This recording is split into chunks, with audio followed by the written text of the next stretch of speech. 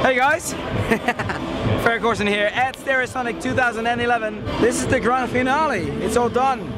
Well, almost. So all the guys, including myself, are getting a little drink here. As soon as we go off camera, shit hits the fan. But thank you for coming down, and I'll see you next year. Ciao.